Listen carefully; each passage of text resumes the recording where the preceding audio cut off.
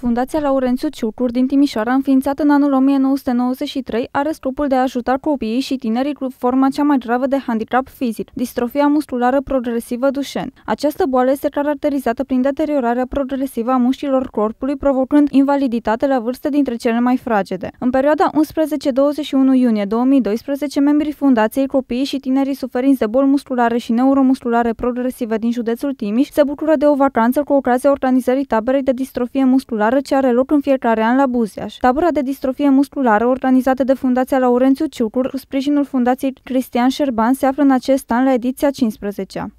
Uh, tabăra este un element unic în România, deci noi suntem unici care organizăm astfel de eveniment. Uh, anul acesta, datorită unor probleme, uh, unor probleme justificate, tabăra este puțin mai restrânsă, participă în total 18 persoane, 11 tineri, copii și tineri suferinți de boli musculare și neuromusculare și 7 însoțitori, 7 părinți. Doi din copii sau tineri au putut să vină fără însoțitor viitor. Scopul acestei tabere constă în consultație, asistență medicală și recuperatorie de specialitate, programe de recreere și socializare și, nu în ultimul rând, atragerea de simpatizanți și susținători care să sprijine Fundația Laurențiu Ciucur în demersurile sale.